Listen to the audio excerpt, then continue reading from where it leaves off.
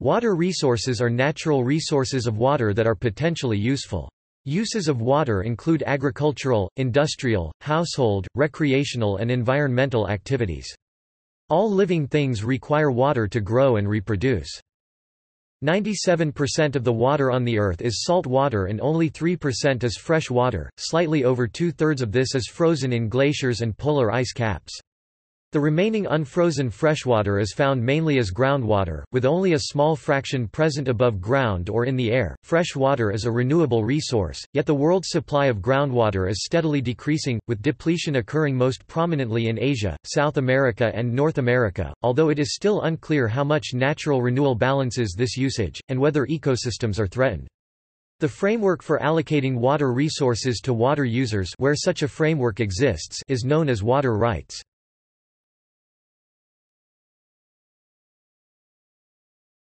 Topic: Sources of fresh water.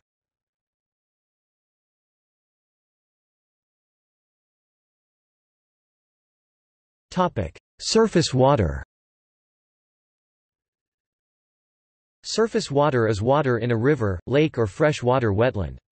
Surface water is naturally replenished by precipitation and naturally lost through discharge to the oceans, evaporation, evapotranspiration and groundwater recharge.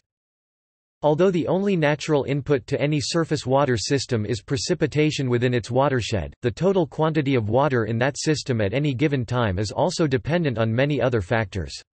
These factors include storage capacity in lakes, wetlands and artificial reservoirs, the permeability of the soil beneath these storage bodies, the runoff characteristics of the land in the watershed, the timing of the precipitation and local evaporation rates. All of these factors also affect the proportions of water loss. Human activities can have a large and sometimes devastating impact on these factors. Humans often increase storage capacity by constructing reservoirs and decrease it by draining wetlands. Humans often increase runoff quantities and velocities by paving areas and channelizing the stream flow. The total quantity of water available at any given time is an important consideration. Some human water users have an intermittent need for water. For example, many farms require large quantities of water in the spring, and no water at all in the winter. To supply such a farm with water, a surface water system may require a large storage capacity to collect water throughout the year and release it in a short period of time. Other users have a continuous need for water, such as a power plant that requires water for cooling. To supply such a power plant with water, a surface water system only needs enough storage capacity to fill in when average stream flow is below the power plant's need. Nevertheless, over the long term the average rate of precipitation within a watershed is the upper bound for average consumption of natural surface water from that watershed. Natural surface water can be augmented by importing surface water from another watershed through a canal or pipeline. It can also be artificially augmented from any of the other sources listed here, however in practice the quantities are negligible. Humans can also cause surface water to be lost, i.e. become unusable through pollution. Brazil is estimated to have the largest supply of fresh water in the world, followed by Russia and Canada.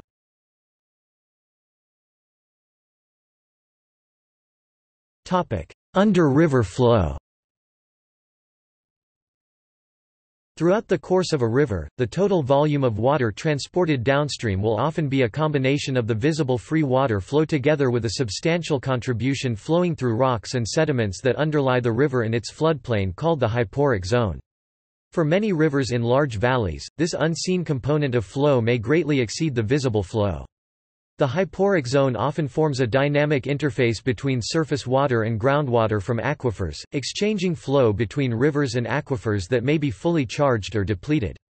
This is especially significant in karst areas where potholes and underground rivers are common.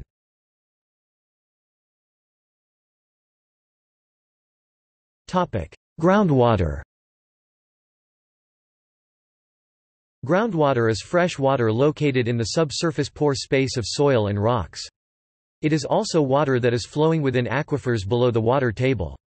Sometimes it is useful to make a distinction between groundwater that is closely associated with surface water and deep groundwater in an aquifer sometimes called fossil water. Groundwater can be thought of in the same terms as surface water, inputs, outputs and storage. The critical difference is that due to its slow rate of turnover, groundwater storage is generally much larger in volume compared to inputs than it is for surface water. This difference makes it easy for humans to use groundwater unsustainably for a long time without severe consequences. Nevertheless, over the long term the average rate of seepage above a groundwater source is the upper bound for average consumption of water from that source. The natural input to groundwater is seepage from surface water. The natural outputs from groundwater are springs and seepage to the oceans. If the surface water source is also subject to substantial evaporation, a groundwater source may become saline. This situation can occur naturally under endorheic bodies of water, or artificially under irrigated farmland. In coastal areas, human use of a groundwater source may cause the direction of seepage to ocean to reverse which can also cause soil salinization. Humans can also cause groundwater to be lost, i.e. become unusable through pollution. Humans can increase the input to a groundwater source by building reservoirs or detention ponds.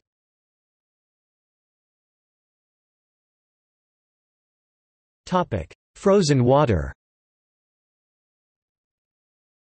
Several schemes have been proposed to make use of icebergs as a water source, however to date this has only been done for research purposes. Glacier runoff is considered to be surface water. The Himalayas, which are often called the roof of the world, contains some of the most extensive and rough high-altitude areas on Earth as well as the greatest area of glaciers and permafrost outside of the poles. Ten of Asia's largest rivers flow from there, and more than a billion people's livelihoods depend on them. To complicate matters, temperatures there are rising more rapidly than the global average. In Nepal, the temperature has risen by 0.6 degrees Celsius over the last decade, whereas globally, the Earth has warmed approximately 0.7 degrees Celsius over the last hundred years.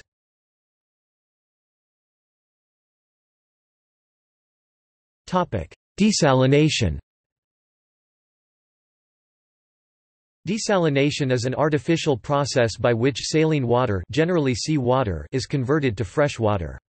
The most common desalination processes are distillation and reverse osmosis. Desalination is currently expensive compared to most alternative sources of water, and only a very small fraction of total human use is satisfied by desalination. It is usually only economically practical for high-valued uses such as household and industrial uses in arid areas. However, there is growth in desalination for agricultural use, and highly populated areas such as Singapore or California. The most extensive use is in the Persian Gulf.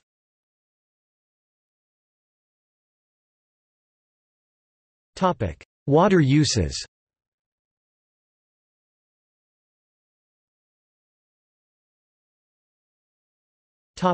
Agriculture It is estimated that 70% of worldwide water is used for irrigation, with 15 to 35% of irrigation withdrawals being unsustainable. It takes around 2,000 to 3,000 liters of water to produce enough food to satisfy one person's daily dietary need. This is a considerable amount, when compared to that required for drinking, which is between 2 and 5 liters. To produce food for the now over 7 billion people who inhabit the planet today requires the water that would fill a canal 10 meters deep, 100 meters wide and 2,100 kilometers long.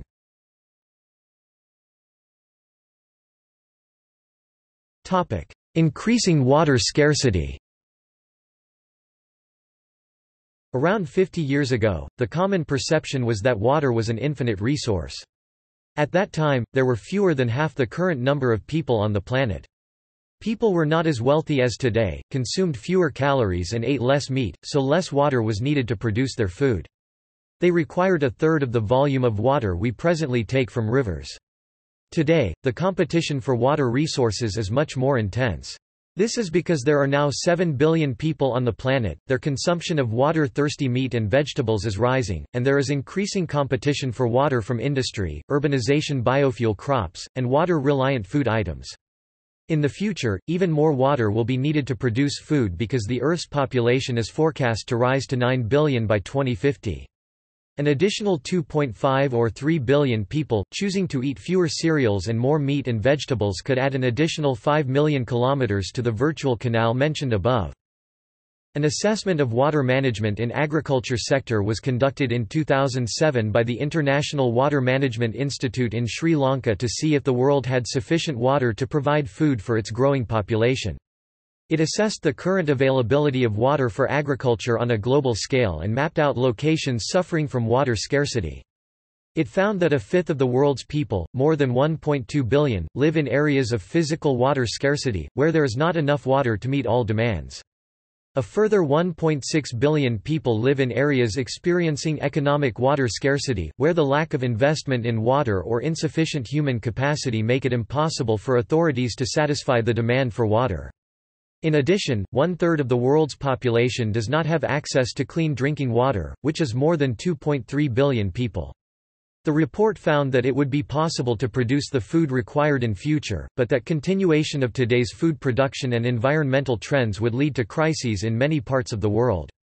To avoid a global water crisis, farmers will have to strive to increase productivity to meet growing demands for food, while industry and cities find ways to use water more efficiently. In some areas of the world, irrigation is necessary to grow any crop at all, in other areas, it permits more profitable crops to be grown or enhances crop yield.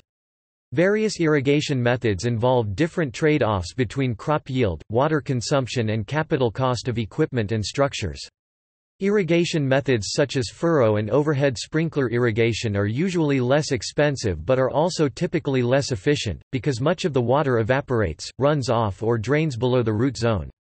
Other irrigation methods considered to be more efficient include drip or trickle irrigation, surge irrigation, and some types of sprinkler systems where the sprinklers are operated near ground level. These types of systems, while more expensive, usually offer greater potential to minimize runoff, drainage and evaporation. Any system that is improperly managed can be wasteful. All methods have the potential for high efficiencies under suitable conditions, appropriate irrigation timing and management. Some issues that are often insufficiently considered are salinization of groundwater and contaminant accumulation leading to water quality declines. As global populations grow, and as demand for food increases in a world with a fixed water supply, there are efforts underway to learn how to produce more food with less water, through improvements in irrigation methods and technologies, agricultural water management, crop types, and water monitoring. Aquaculture is a small but growing agricultural use of water. Freshwater commercial fisheries may also be considered as agricultural uses of water, but have generally been assigned a lower priority than irrigation see and Pyramid Lake.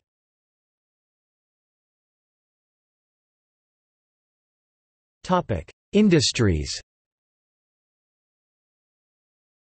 It is estimated that 22% of worldwide water is used in industry.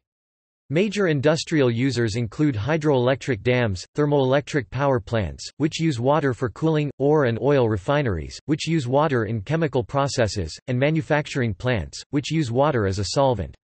Water withdrawal can be very high for certain industries, but consumption is generally much lower than that of agriculture.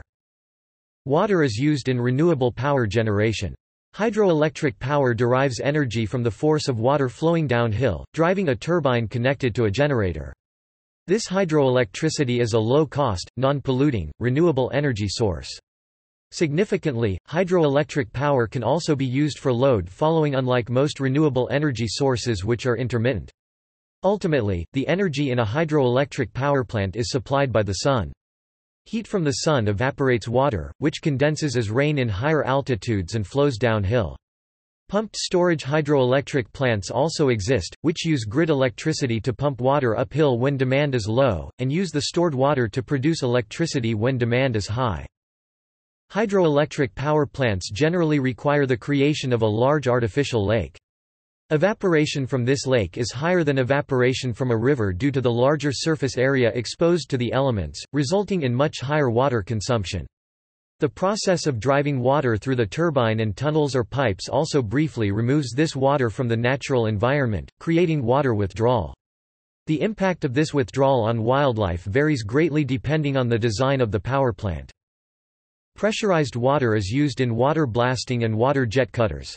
Also, very high-pressure water guns are used for precise cutting. It works very well, is relatively safe, and is not harmful to the environment.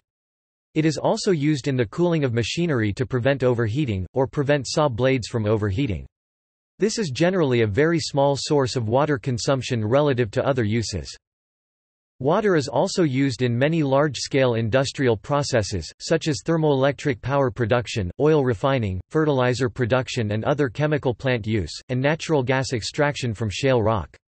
Discharge of untreated water from industrial uses is pollution. Pollution includes discharged solutes chemical pollution and increased water temperature thermal pollution. Industry requires pure water for many applications and utilizes a variety of purification techniques both in water supply and discharge.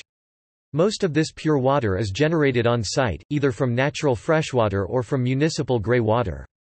Industrial consumption of water is generally much lower than withdrawal, due to laws requiring industrial grey water to be treated and returned to the environment.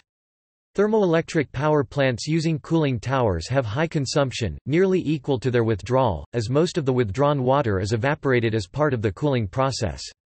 The withdrawal, however, is lower than in once through cooling systems.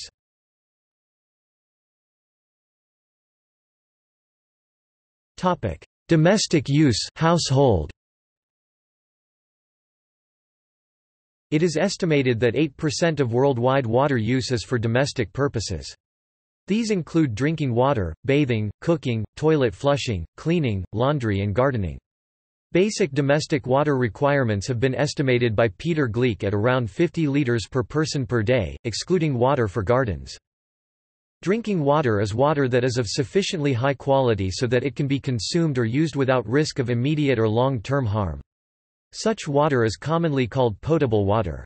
In most developed countries, the water supplied to domestic, commerce and industry is all of drinking water standard even though only a very small proportion is actually consumed or used in food preparation.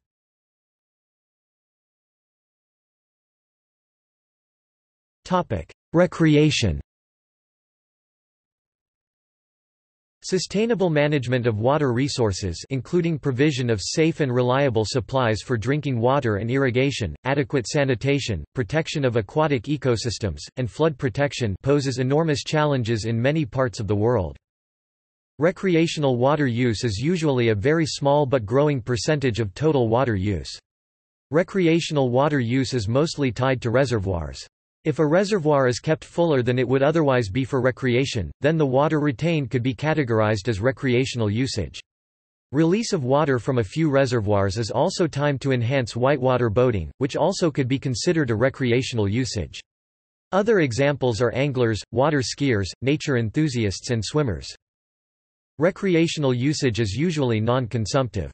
Golf courses are often targeted as using excessive amounts of water, especially in drier regions. It is, however, unclear whether recreational irrigation which would include private gardens has a noticeable effect on water resources. This is largely due to the unavailability of reliable data. Additionally, many golf courses utilize either primarily or exclusively treated effluent water, which has little impact on potable water availability. Some governments, including the Californian government, have labeled golf course usage as agricultural in order to deflect environmentalists' charges of wasting water. However, using the above figures as a basis, the actual statistical effect of this reassignment is close to zero. In Arizona, an organized lobby has been established in the form of the Golf Industry Association, a group focused on educating the public on how golf impacts the environment. Recreational usage may reduce the availability of water for other users at specific times and places.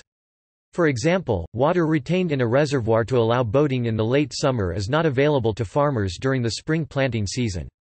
Water released for whitewater rafting may not be available for hydroelectric generation during the time of peak electrical demand.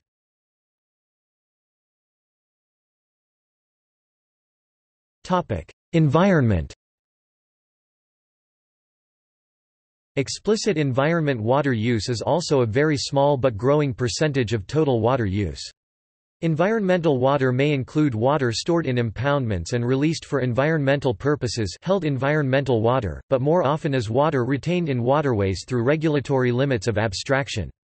Environmental water usage includes watering of natural or artificial wetlands, artificial lakes intended to create wildlife habitat, fish ladders, and water releases from reservoirs timed to help fish spawn, or to restore more natural flow regimes like recreational usage. Environmental usage is non consumptive but may reduce the availability of water for other users at specific times and places.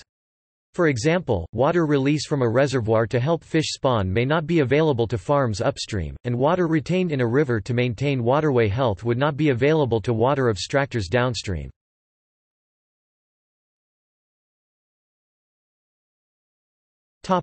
Water stress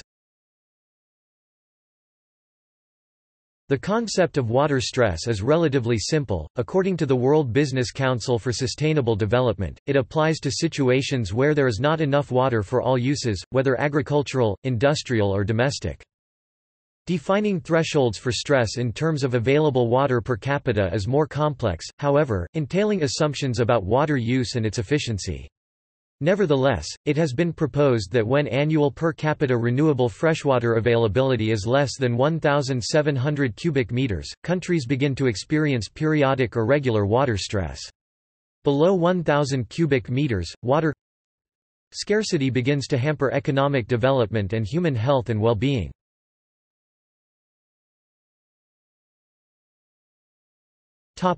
Population growth In 2000, the world population was 6.2 billion. The UN estimates that by 2050 there will be an additional 3.5 billion people with most of the growth in developing countries that already suffer water stress. Thus, water demand will increase unless there are corresponding increases in water conservation and recycling of this vital resource. In building on the data presented here by the UN, the World Bank goes on to explain that access to water for producing food will be one of the main challenges in the decades to come. Access to water will need to be balanced with the importance of managing water itself in a sustainable way while taking into account the impact of climate change, and other environmental and social variables.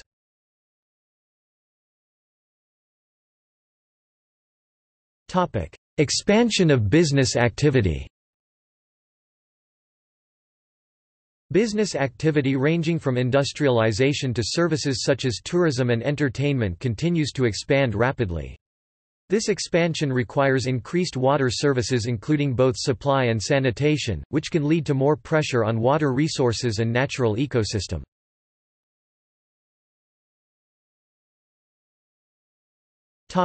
Rapid urbanization The trend towards urbanization is accelerating. Small private wells and septic tanks that work well in low-density communities are not feasible within high-density urban areas. Urbanization requires significant investment in water infrastructure in order to deliver water to individuals and to process the concentrations of wastewater, both from individuals and from business. These polluted and contaminated waters must be treated or they pose unacceptable public health risks. In 60% of European cities with more than 100,000 people, groundwater is being used at a faster rate than it can be replenished. Even if some water remains available, it costs increasingly more to capture it.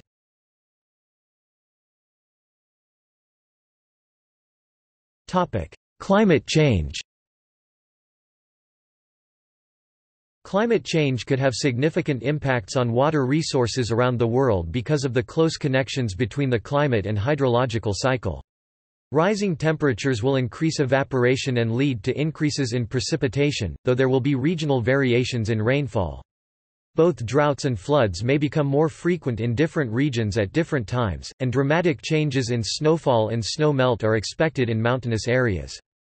Higher temperatures will also affect water quality in ways that are not well understood. Possible impacts include increased eutrophication. Climate change could also mean an increase in demand for farm irrigation, garden sprinklers, and perhaps even swimming pools. There is now ample evidence that increased hydrologic variability and change in climate has and will continue to have a profound impact on the water sector through the hydrologic cycle, water availability, water demand, and water allocation at the global, regional, basin, and local levels.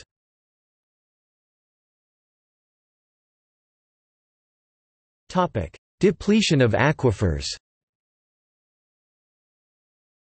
Due to the expanding human population, competition for water is growing such that many of the world's major aquifers are becoming depleted.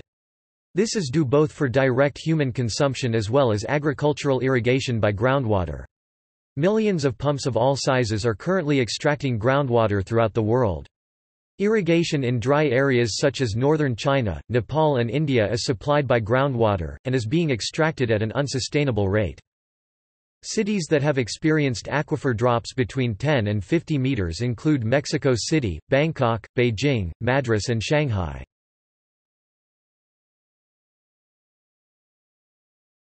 Topic: Pollution and water protection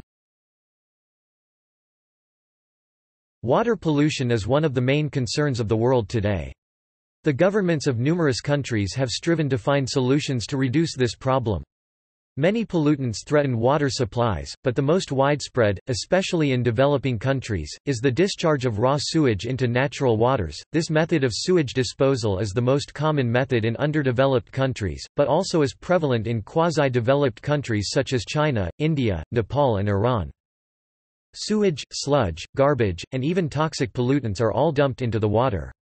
Even if sewage is treated, problems still arise. Treated sewage forms sludge, which may be placed in landfills, spread out on land, incinerated or dumped at sea. In addition to sewage, non-point source pollution such as agricultural runoff is a significant source of pollution in some parts of the world, along with urban stormwater runoff and chemical wastes dumped by industries and governments.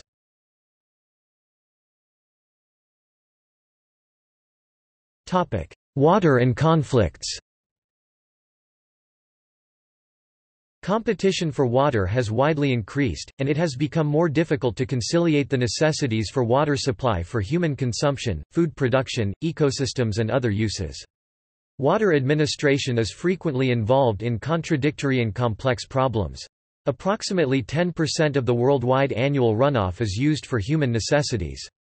Several areas of the world are flooded, while others have such low precipitations that human life is almost impossible. As population and development increase, raising water demand, the possibility of problems inside a certain country or region increases, as it happens with others outside the region. Over the past 25 years, politicians, academics and journalists have frequently predicted that disputes over water would be a source of future wars. Commonly cited quotes include, that of former Egyptian foreign minister and former Secretary-General of the United Nations Boutros Ghali, who forecast, the next war in the Middle East will be fought over water, not politics. His successor at the UN, Kofi Annan, who in 2001 said, fierce competition for fresh water may well become a source of conflict and wars in the future, and the former Vice President of the World Bank, Ismail Serageldin, who said the wars of the next century will be over water unless significant changes in governance occurred. The water wars hypothesis had its roots in earlier research carried out on a small number of transboundary rivers such as the Indus, Jordan and Nile. These particular rivers became the focus because they had experienced water-related disputes. Specific events cited as evidence include Israel's bombing of Syria's attempts to divert the Jordan's headwaters, and military threats by Egypt against any country building dams in the upstream waters of the Nile. However, while some links made between conflict and water were valid, they did not necessarily represent the norm. The only known example of an actual interstate conflict over water took place between 2500 and 2350 BC between the Sumerian states of Lagash and Umma. Water stress has most often led to conflicts at local and regional levels. Tensions arise most often within national borders, in the downstream areas of distressed river basins. Areas such as the lower regions of China's Yellow River or the Chao Phraya River in Thailand, for example, have already been experiencing water stress for several years. Water stress can also exacerbate conflicts and political tensions which are not directly caused by water. Gradual reductions over time in the quality and or quantity of fresh water can add to the instability of a region by depleting the health of a population, obstructing economic development, and exacerbating larger conflicts.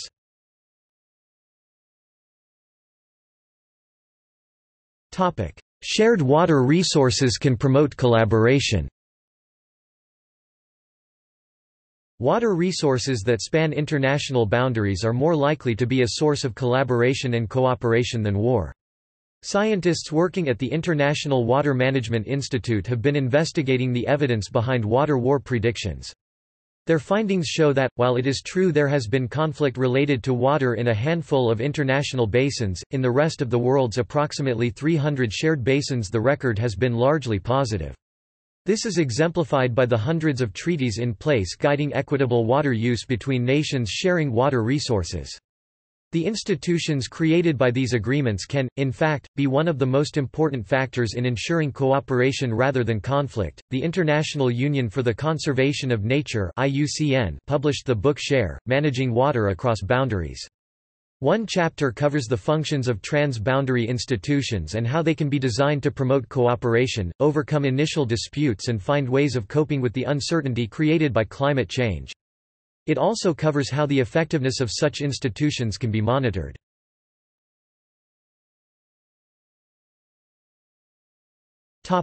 Water shortages In 2025, water shortages will be more prevalent among poorer countries where resources are limited and population growth is rapid, such as the Middle East, Africa, and parts of Asia. By 2025, large urban and peri-urban areas will require new infrastructure to provide safe water and adequate sanitation. This suggests growing conflicts with agricultural water users, who currently consume the majority of the water used by humans. Generally speaking, the more developed countries of North America, Europe, and Russia will not see a serious threat to water supply by the year 2025, not only because of their relative wealth, but more importantly, their populations will be better aligned with available water resources. North Africa, the Middle East, South Africa and northern China will face very severe water shortages due to physical scarcity and a condition of overpopulation relative to their carrying capacity with respect to water supply. Most of South America, Sub-Saharan Africa, southern China and India will face water supply shortages by 2025. For these latter regions the causes of scarcity will be economic constraints to developing safe drinking water, as well as excessive population growth.